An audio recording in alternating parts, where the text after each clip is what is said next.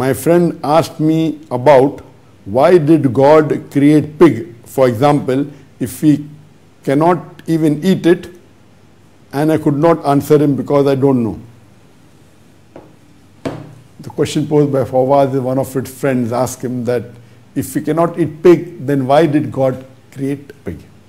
Point to be noted that all the animals and all the living creatures in the world have not been created to be eaten.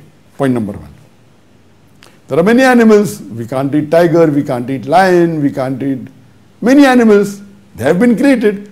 So tell your friend that every animal God created, God hasn't created to eat. What Allah says in the Quran that we have made the four-footed cattle for you and eat all of them except those which are prohibited. So Allah has created some animals to be eaten. For example, cow, goat, sheep, camel, but not all the animals. So mainly the herbivorous animals are those animals which normally we can eat. Why has God created the pig? There may be many reasons. One of the reasons that I can think of that the pig is a very good scavenger. And we find that wherever there is muck and filth, the pig is there. And you know, in the villages, when I was in India, there are villages where they don't have modern toilets like the one we have, you know, in the cities. So in the villages, they go out to defecate for the call of nature, long one, in the open air.